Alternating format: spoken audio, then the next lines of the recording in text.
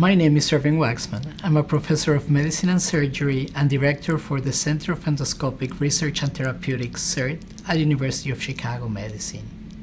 We try to provide minimally invasive solutions to complex pancreatic biliary problems, as well as focus on early detection and treatment of gastrointestinal cancers.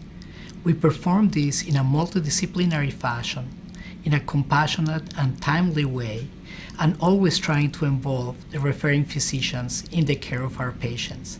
Our focus on research and clinical discovery, always looking for minimally invasive therapies or technologies to try to find solutions that avoid complex invasive procedures for our patients.